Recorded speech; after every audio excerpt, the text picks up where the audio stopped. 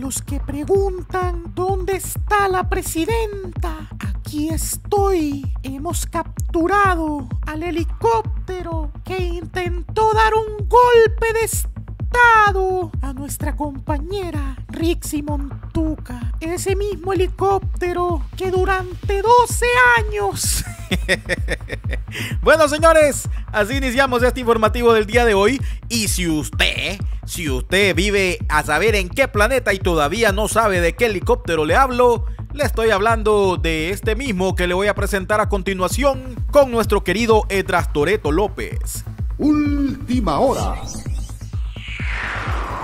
Los acaban de comprar y en el primer viajecito casi se matan. Viera qué tremendo fue ese susto. Cuestan más de 11 millones de dólares cada uno.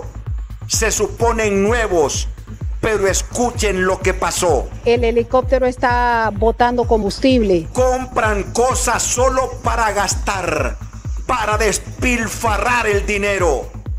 ¿Y los resultados? Nos desviamos de la ruta que llevábamos. Fue como la mamba pero esta vez en el aire. De repente nos dijeron tenemos que buscar aterrizar de emergencia y fue tremendo. Los minutos se, hicieron bastante largos. Y aunque no creen en Dios, le agradecieron a Dios. Estamos a salvo, gracias a Dios. Cholo Satsur informando. Bueno, señores, y es que al final creo que en seguridad es en una de las instituciones donde más corrupción hay, no solo de billete, sino que también dentro de sus mismos funcionarios. Y no solo los de la alta cúpula, sino que eso va hasta los que andan en la calle ahí ejerciendo su labor. Pero bueno, de eso nos habla un poco Yulisa Villanueva. Miren, muchos quedaron picados con la entrevista que le pasé ayer de Yulisa Villanueva y me decían ahí en los comentarios, eso que está denunciando esa señora es grave, a esa señora la pueden mandar a fregar. O decían otros también, bueno, porque ella sigue en su cargo, imagínate, y a Sabillón lo sacaron y directamente ella sigue y más bien pusieron al otro, el otro es más inepto.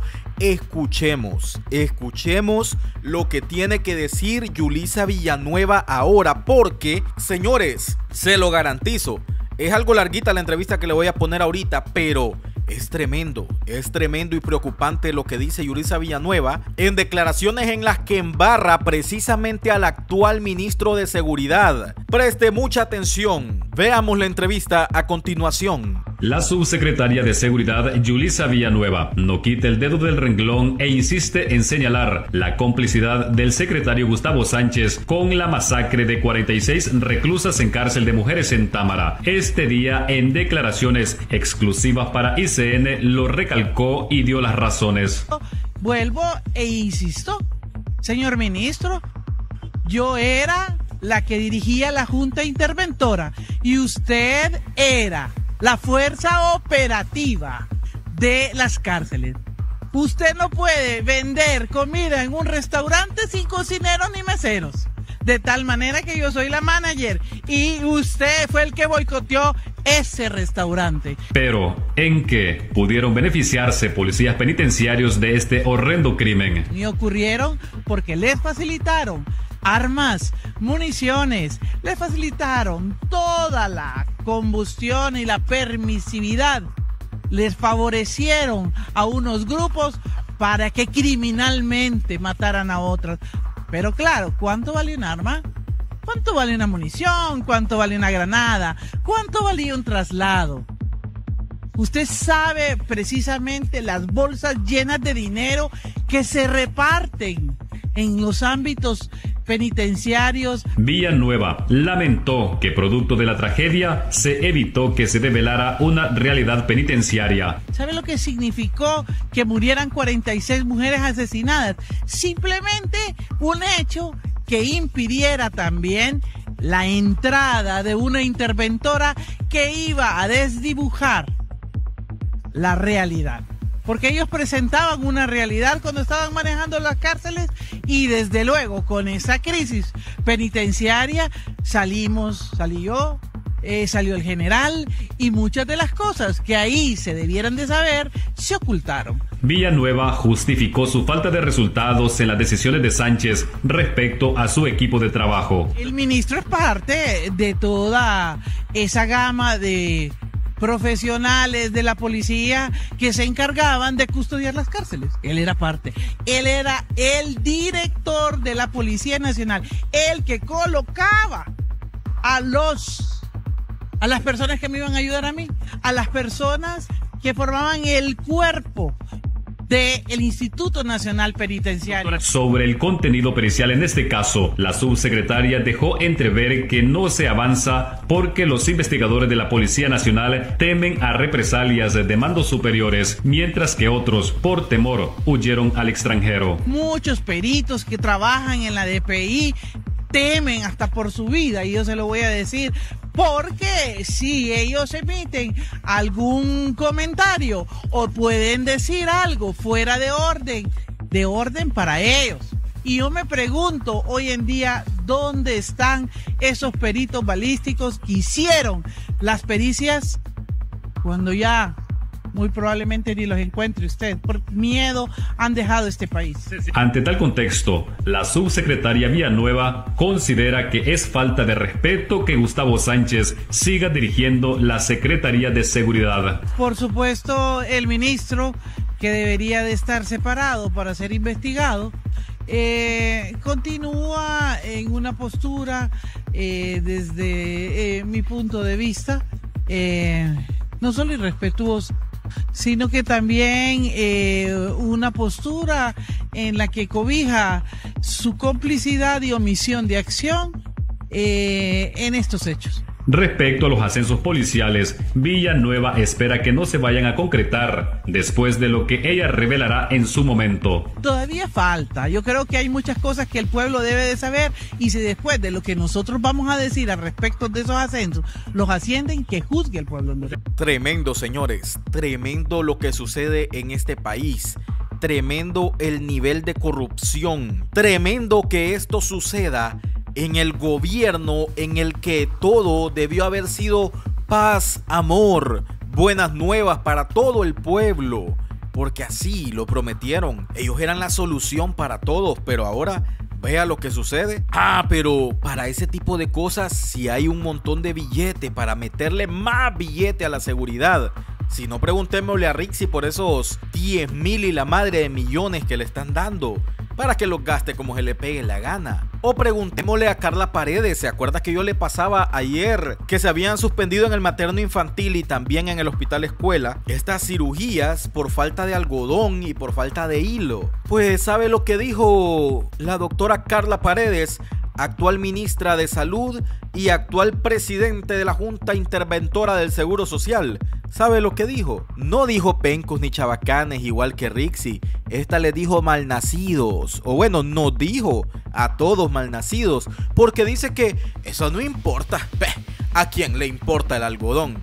El algodón es algo tan básico, algo tan sencillo, sí, tan básico y tan sencillo que no se puede realizar una cirugía sin él.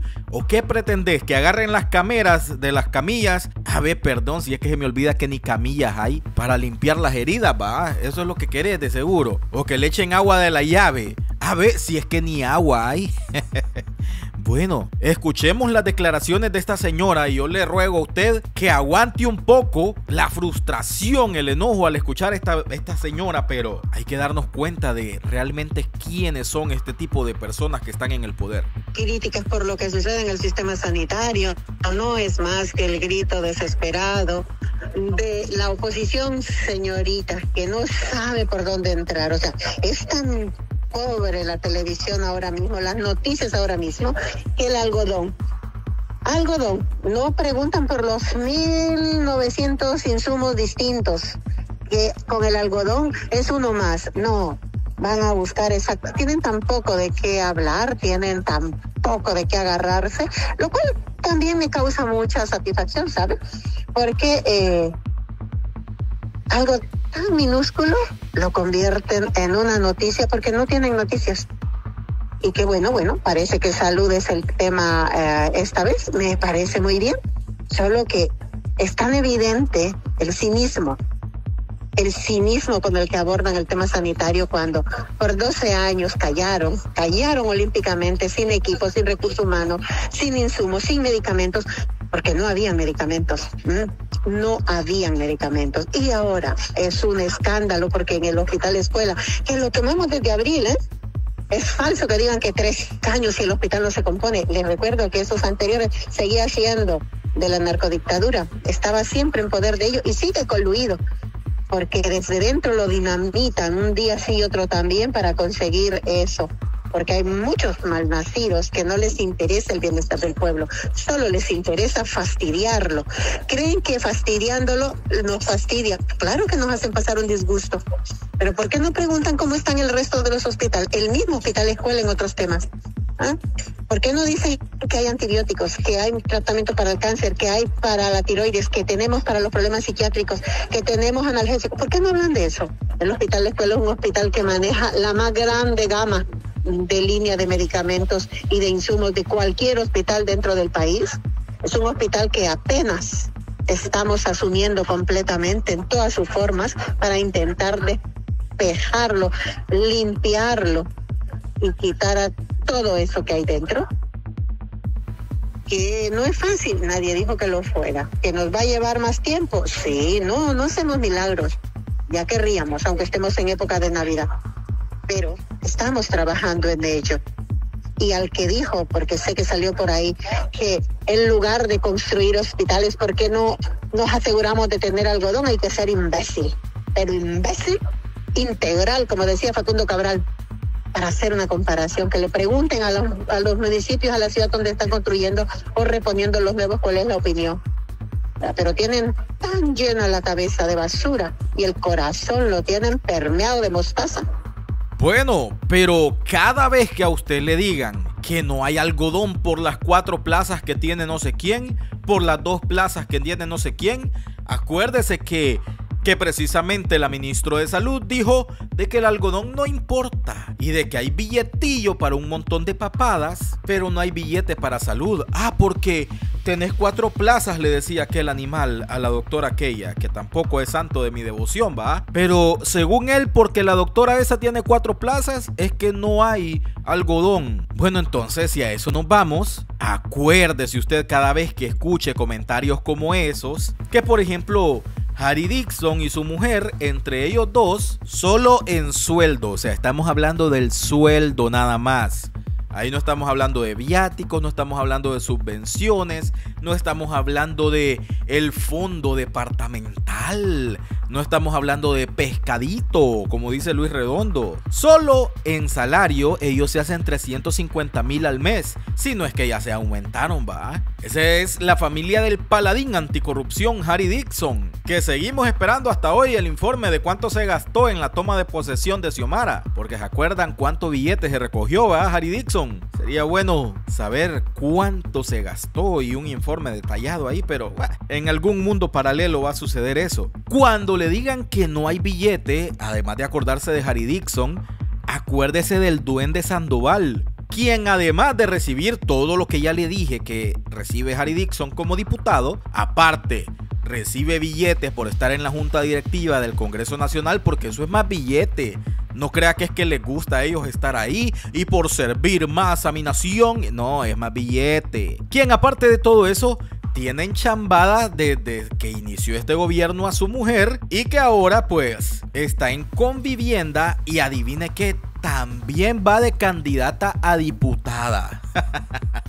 Acuérdese de eso cuando le digan que no hay algodón porque no sé quién tiene cuatro plazas. Además de eso, hablando del algodón, que es algo que se ocupa en los hospitales, vamos a hablar de un doctor que nunca lo he visto yo ejerciendo su profesión. Tenía un programa que se llamaba Consulta Médica al Día, algo así, pero jamás de la vida dio una consulta médica. Solo aparecía aquel otro señor Chabacán ofreciendo Gifiti y él hablando de que Juan Orlando le había metido un tacuacín en el carro. ¿Será que estaba confabulado Juan Orlando con Milton Benítez? Bueno, acuérdese de Liud Girón, que es del que le estoy hablando, y de que su esposa es la viceministra de Copeco. Acuérdese cuando le digan de que no hay billete porque no sé quién tiene una, tiene dos plazas. Acuérdese de todos estos personajes que le estoy nombrando.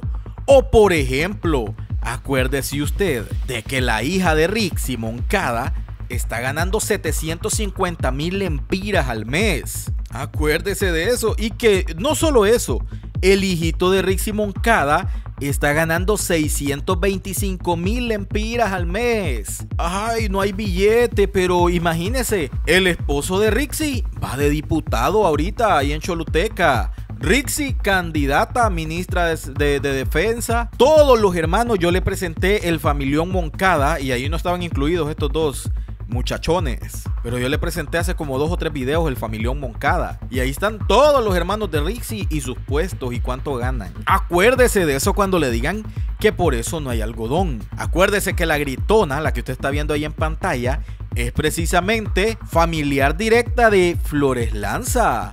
Sí, la mujer del Quijada, el de la carretilla. Acuérdese cuando le digan que no hay billete, cuando le digan que no hay pisto. Acuérdese de eso, pueblo hondureño. O acuérdese precisamente, ¿sabe cuándo? Cuando le digan durante 12 años de narcodictadura. Acuérdese que hay diputados como Sergio Castellano, por ejemplo, por darle un ejemplo, que tienen más de 12 años en el poder. Vea usted nada más de cuándo es ese video, Sergito Castellanos. Buenas tardes, presidente. Espero que me respeten mi tiempo y mis ideas.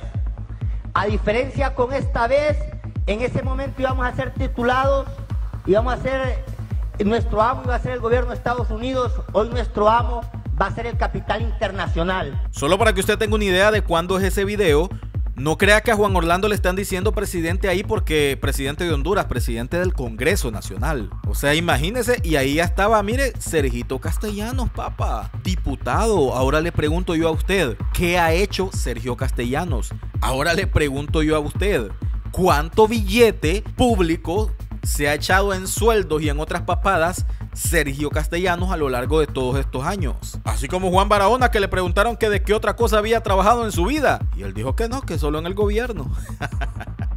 qué cosas, señores. Qué cosas. Pero acuérdese, de todo eso acuérdese cuando le digan que no hay billete. Pero ¿sabe de qué más se tiene que acordar? De nuestro querido Hugo Noé Pino, que como yo le digo, era un gran prospecto cuando inició este gobierno, como muchos funcionarios lo fueron. Pero después dejaron ver que simplemente les cega el amor por el bigote y por el billete y se convierten en unos achichincles más. Imagínese, escuche muy bien, escuche muy bien, aunque usted no lo crea. Este es Hugo Noé Pino defendiendo la partida confidencial. ¿Cuántos millones? es la partida confidencial. Haciendo una sola enredazón, seguro lo aprendió en la escuela Mel Zelaya, al final diciendo que se reportan en páginas por algo se llama partida confidencial, Hugo Noé Pino. Deja de querer hacerte el gracioso. Deja de querer hacerte el macizo, el que enredas la gente. Por algo se llama partida confidencial. Escuchemos. Podemos tener la certidumbre los hondureños que esa partida 449 no, no, no resulta una piñata para, para, los presidentes? Totalmente, Renato, totalmente. Yo creo que eh, eh, se ha creado un mito sobre esa, esa partida. Y le, y le voy a señalar algo adicionalmente. La Constitución le da al presidente, en este caso a la presidenta de la República, la potestad de organizar el, el presupuesto general. Pero una vez que el presupuesto general se aprueba, todo el mundo tiene que eh, atenerse a esa situación. Pero lo importante, Renato, es que usted puede ver en la página de internet de, de, la Secretaría de Finanzas todos estos movimientos. Cuando hay una transferencia, por ejemplo, por, esa es la diferencia que hay entre el presupuesto aprobado, el presupuesto vigente. Y ahí usted va viendo quiénes se van modificando. Entonces es una forma muy sencilla de rastrear dónde están los recursos y tenga la seguridad de que esa partida no es una partida confidencial ni es una partida eh, para la presidencia de la República que la utilice como quiera. Pero bueno, señores, no hay pisto, no hay billete. Pero lo que sí hay en esta época ya cerca de diciembre es abrazos, amor, reconciliación, que es lo que debe haber entre el pueblo hondureño para ponerse de acuerdo entre todos, sin importar colores políticos, hablando del pueblo, ¿ah? del verdadero pueblo. No de achichincles ni de cúpulas. Así como el ejemplo que le están dando ahí, mire, Marvin Ponce, tremendo abrazo con Nelson Ávila. Y ya le presenté en el video anterior el épico video del vaso, así que no se lo voy a volver a poner ahorita Dicen que este reconcilio fue más épico que este. ay, ay, ay. Honduras, papá, Honduras. Y bueno, lo prometido es deuda, como se lo prometí en el video anterior, vamos a hacer unos pequeños saludos por acá para la gente que es la que nos motiva realmente a seguir adelante. Porque de todo hay comentarios pencos, comentarios de todo chavacanes, como dijo Rixi, pero también existen los buenos comentarios que siempre nos motivan. Miren, Oman Jiménez nos dice saludos desde New Orleans. ¡Wow! ¡Qué bilingüe! A Luisiana. Ahí nos disculpan, ¿verdad? Pues es que aquí a duras penas aprende uno a hablar español. USA. Esos políticos solo cuando les conviene a ellos hablan de otros políticos. El Chele Castro, ¿por qué no lo hacía cuando estaba en libre si bien lo sabía? Mire, tremendo punto de vista que también eh, más o menos algo así les tiré yo ayer diciéndole, estos tipos saben cosas. Pero hasta que se encachimban, hasta que ya no están ahí, empiezan a soltar. Así como decía Calix, yo iba con Mel a esas reuniones, yo sé de lo que Mel hablaba en esas reuniones, yo lo sé. ¿Y por qué no lo dice? ¿Y por qué no lo dijo en su momento? Y si es tan malo, ¿por qué seguía él en esas reuniones y todo eso? Es lo que le digo, hay un montón de políticos que saben muchas cosas, pero que tal vez, tal vez va, están esperando el momento preciso para soltarlas porque ellos también tienen cola que les pisen. Y si el otro empieza a hablar de mí, yo empiezo a hablar también. Me imagino yo que por eso es, va. Así que saludos ahí para Osman Jiménez. También, miren, nos saluda por acá Daniel Cruz. Y nos dice el buen Daniel. Saludos Honduras Informa, gracias por presentar noticias de manera objetiva y con ese toque de humor y apodos como Rixi Montuca. que le alegran el día a uno. En medio del relajo que nos han tenido durante años las diferentes variantes de corruptos. Saludos, saludos Daniel, muchas gracias por tu comentario, muchas gracias por siempre estar pendiente de cada video. Mire, nos saluda también por acá, dice te saluda Dardi Ávila desde la Unión Europea. ¡Wow! Y quiero que también me salude. Saludos, mire, Dardi Ávila. Saludos, saludos hasta la Unión Europea, papá. Somos internacionales, ¿usted qué dijo?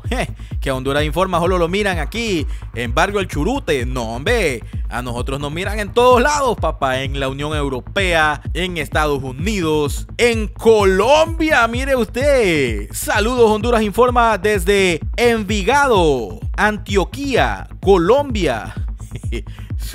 No sé si es real esto, es real. Confírmeme ahí, Luis Elaya. Ey, Luis Elaya. Hmm, Desde Colombia dice, junto a Medellín está la ciudad, dice. Trabajo por estos lados. Todos los videos que haces los miro. Soy de Tegus. Un abrazo, hermano. Abrazos hasta Colombia. Para Luis Elaya. Gracias, Luis Elaya, por siempre ver nuestros videos. Un gusto. Y pues solo les dije cinco comentarios, así que les voy a dar uno de chascada porque este tiene respuesta. Saludos, dice Henry Urbina, desde Arlington, Texas. Gracias por tu trabajo. Hay que desenmascarar a estos perversos. Un 10 para usted, joven. Y le respondí a René Gómez la mitad para el comandante. No, hombre, René, pucha. Me están dando un 10, entonces solo 5. Voy a tener que pasar 10 comentarios ahorita porque 5 van a ser para el comandante, papá. Gracias, Henry Urbina. Y gracias a todos, de verdad, por siempre estar pendientes de cada video que traemos para ustedes. Deje su comentario porque usted puede aparecer aquí en el próximo video si es uno de los 5 seleccionados. Además, si no quiere perderse ningún informativo, mire que le voy a presentar y vamos a analizar las planillas. Ya están planillas de varios movimientos ya subidas y todo. Las vamos a analizar para que usted vea todos los angelitos que hay. Y si usted no se quiere perder esos videos, suscríbase a este canal, denle me gusta a este video, compártalo, comente y nos vemos en el próximo informativo aquí en Honduras Informa.